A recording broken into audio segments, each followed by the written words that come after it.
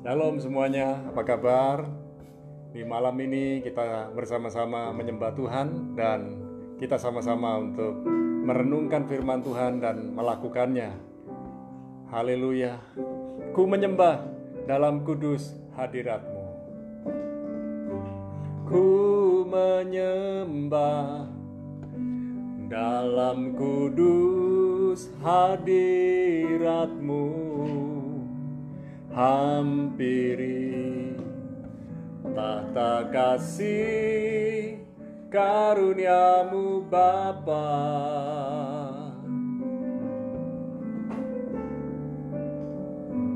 Kekuatanku hanya dalam hadiratmu Yesusku hanya kaulah segalanya.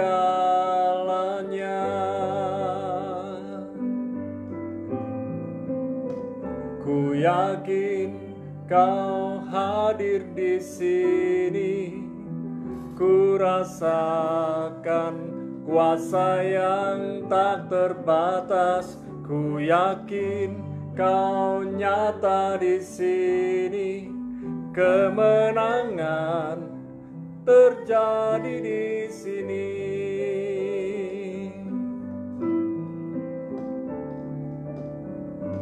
Ku menyembah dalam kudus hadiratmu hampiri tata kasih karuniamu Bapa.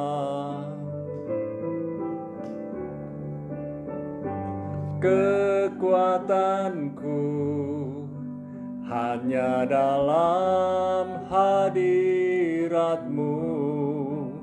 Yesusku hanya kaulah segalanya.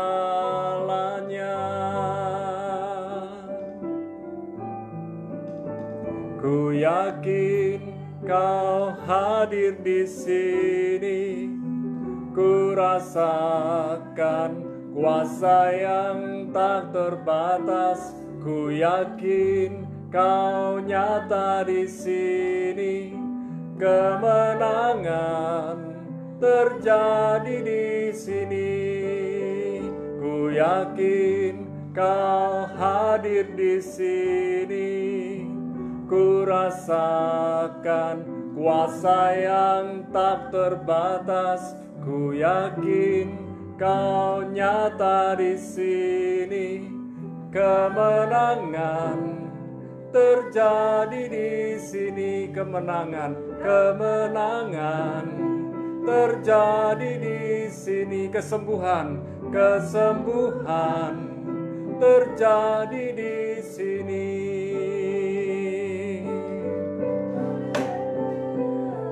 Haleluya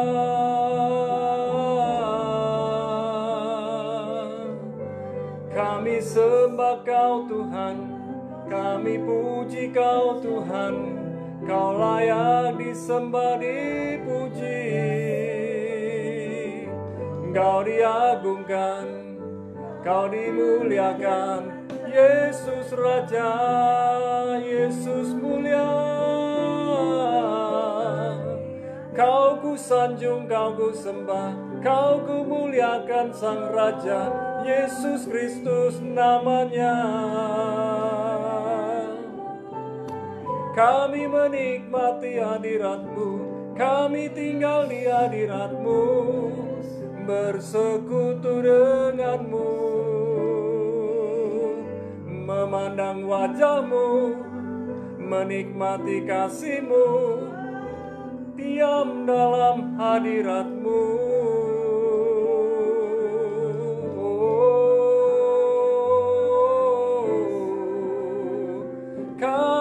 cinta kau Tuhan lebih dari segalanya.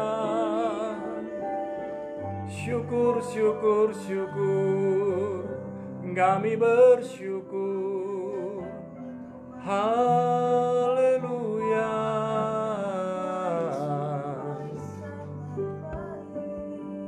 Terima kasih Tuhan.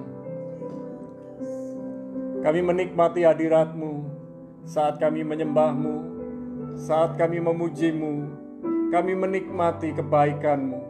Sungguh Kau baik, sangat baik. Dulu, sekarang, sampai selama-lamanya kasih-Mu tidak pernah berubah.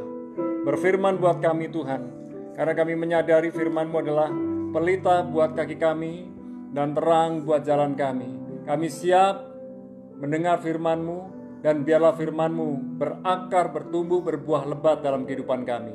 Dalam nama Yesus, sama-sama katakan, amin. Ya kekasih Tuhan, di malam ini saya akan sharing tentang roh kudus, tapi saya awali dari mengenal Allah, bagaimana cara mengenal Allah.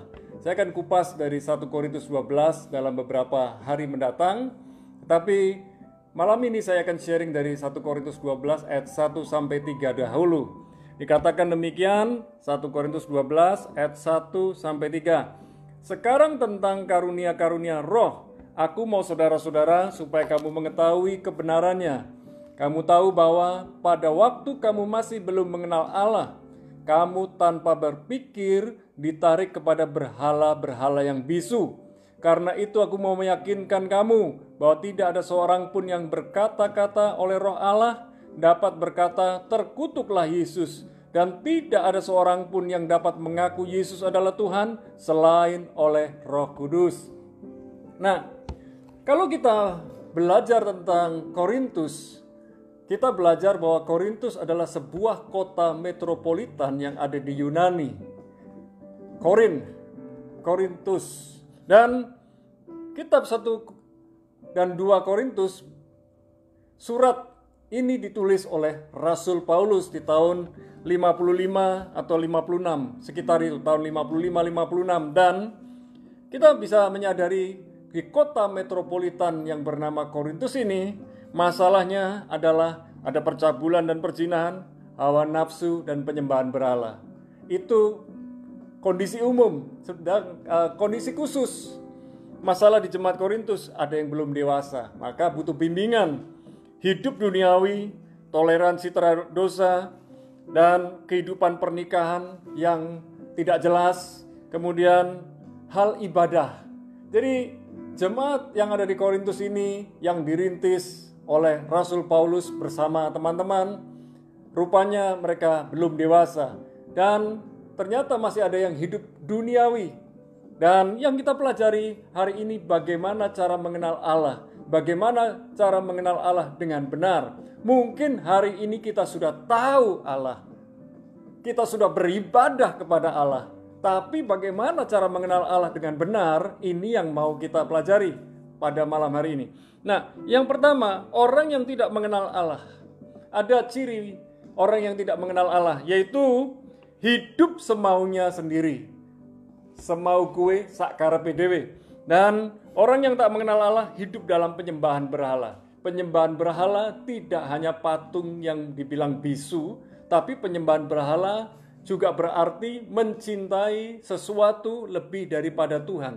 Bisa mencintai hobi, bisa mencintai pekerjaan, bisa mencintai keluarga. Mencintai keluarga baik, tapi mencintai keluarga lebih daripada Tuhan itu masalah. Bahkan ada yang mencintai pelayanan. Wow, kalau pelayanan pelayanan buat Tuhan, wow keren luar biasa. Tapi keluarganya ditinggal dan banyak masalah keluarga. Kembali Tuhan nomor satu, kemudian keluarga itu penting, baru yang lain-lain. Nah, orang yang tidak mengenal Allah membenci Allah. Mulutnya tutur katanya selalu memperkatakan bahwa Allah itu tidak adil. Allah itu tidak peduli. Allah pilih kasih. Kekasih Tuhan, hati-hati kalau kita mengeluarkan kalimat-kalimat seperti ini, kita sedang dilanda kekhawatiran, ketakutan, dan mulai kecemasan ada dalam hidup kita, lalu apa yang ada dalam hati kita meluap keluar, dan ternyata tanda-tanda orang yang tidak mengenal Allah bercerita tentang Allah secara buruk. Jadi orang yang mengenal Allah dengan benar beda. Tutur katanya tidak menghujat, tidak mencaci maki Allah, tidak mengutuk Allah. Nah, oleh sebab itu itu tadi adalah ciri orang yang tidak mengenal Allah. Bagaimana cara mengenal Allah? Nah, oleh Roh Kudus kita dapat mengenal Allah. Hai Sam, bagaimana kamu mengenal Allah? Allah mengenal aku terlebih dahulu. Yes, betul itu. Iya. Karena kalau Allah tidak kenal aku, aku tidak bisa kenal Allah. Ya, betul. Allah yang menuntun saya untuk mengenal dirinya. Ya. Allah mencintai saya supaya sa- saya bisa mencintai Allah. Amin. Praise God. Itu betul sekali, ya. Dan ini yang luar biasa kalau kita tahu Allah menyayangi kita, mencintai kita, mengenal kita terlebih dahulu, maka baru kita bisa membalas cintanya. Roh Kudus akan pimpin kita untuk menyembah, memuji, berdoa. Roh Kudus. Berarti kalau kita nggak suka memuji, menyembah, berdoa, itu roh lain berarti tidak mengenal Allah. Orang yang mengenal Allah tidak bersungut-sungut, tidak menggerutu, tetapi bersyukur. Dan kita semua diselamatkan oleh iman bukan karena perbuatan. Efesus pasal yang 2 ayat yang ke-8. Bagaimana? Kamu diselamatkan karena apa, Sen? Iman. Iman. Karena perbuatan. Bukan karena perbuatan asli ya. Bukan karena kebaikanmu, bukan karena kamu ganteng. Ya, konon kata pemirsa kamu ganteng. Lucu Anda. Ya, Em, kalau kita kalau kalau Allah kalau kita bisa menyelamatkan diri karena perbuatan kita. Lalu karya salib Kristus sia-sia. Ya, buat apa ada karya salib Kristus kalau kita bisa nyelamatin diri sendiri? Betul. karya salib Kristus itu sa- karena Kristus itu menggenapi Ya, hukum Taurat yang kita kalau hukum Taurat itu apa? Hukum Allah kesempurnaan Allah. Ya. kita harus memenuhi semua itu untuk masuk surga. Apakah ada yang bisa memenuhi? Noah. tidak ada. Ya, hanya karena itu Yesus bisa. Kristus menggenapinya untuk membuktikan untuk menggenapi Hmm. Menggantikan kita dan menebus dosa kita lewat karya salibnya Haleluya. Ini yang saya mau sampaikan bahwa oleh kasih karunia Allah kita dibenarkan dengan cuma-cuma karena penebusan Yesus Kristus. Roma 3 ayat 24. Jadi pastikan kalau Anda menghargai Allah, menghargai karya penebusan Allah, mulut kita tidak berkata sia-sia. Karena Roh Kudus tidak pernah mengajar kita menghujat Allah, berkata yang buruk tentang Allah, terkutuklah Yesus dan lain sebagainya. Tidak ada mulut kita ini bersungut-sungut lagi. Saya yakin, saya percaya, jika Anda bergaul dengan Roh Kudus, Anda akan hidup dipimpin oleh Roh Kudus. Kalau nggak dipimpin Roh Kudus, berarti dipimpin yang lain. Sudahkah Anda mengenal Allah? Mari kita berdoa. Malam ini kami berdoa bersama para kekasih Tuhan. Kami menyadari kami lemah, kami tidak berdaya, tetapi Tuhan sudah membenarkan kami, Tuhan sudah memulihkan kami, dan malam ini oleh Roh Kudus, tuntun kami, pimpin kami, bimbing kami supaya kami makin mengenal Allah dengan benar. Dan malam ini kami rindu Tuhan. Pimpin kami supaya mulut kami penuh dengan syukur, mulut kami dengan pujian, pengagungan kepada Tuhan, bukan persungutan, bukan hal-hal yang negatif lagi keluar dari mulut kami. Sungguh kami mau mengenal Allah dengan benar, dengan lebih baik. Terima kasih Tuhan. Bersama para kekasih Tuhan yang berdoa malam ini bersama kami sekeluarga, kami berdoa biarlah bangsa negeri Indonesia yang dipimpin oleh Presiden Jokowi dapat berlanjut dan kepemimpinannya benar-benar kokoh dan kepemimpinannya bisa sampai dirasakan di daerah-daerah. Terima kasih Tuhan. Kami percaya badai COVID-19 yang sedang berlangsung ada, Tuhan menguatkan kami, menghiburkan kami, menolong kami untuk benar-benar menjaga diri kami dan menjaga diri orang lain baik-baik. Dan kami berdoa buat para pengusaha dan para karyawan, orang-orang yang sudah bekerja, biarlah mereka bekerja dengan sungguh-sungguh, dengan baik, dengan benar, dengan maksimal, sehingga mereka melayani orang lain seperti melayani Tuhan.